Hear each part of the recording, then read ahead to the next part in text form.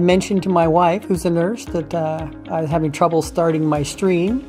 And when it did start, it was very weak. And she says, You need to go see a urologist about that. And otherwise, I wouldn't have gone in. I didn't think anything of it. It was just normal part of old age.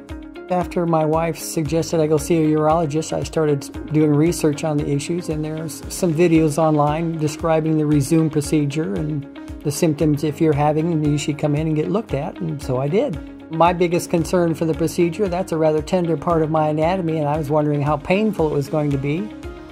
Wasn't uh, terribly uncomfortable during the procedure.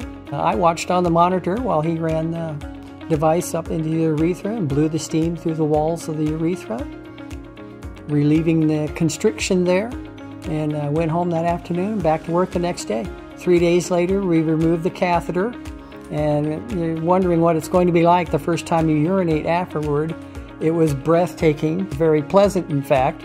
Been seven months since the procedure, and uh, no complaints. And I would say the sooner you get it done, the better. And it's a piece of cake. Uh, one of the advantages to Rezum that I like, you don't have to take medications afterwards. I'm not one who enjoys taking medication, and that, to me, that's a nuisance.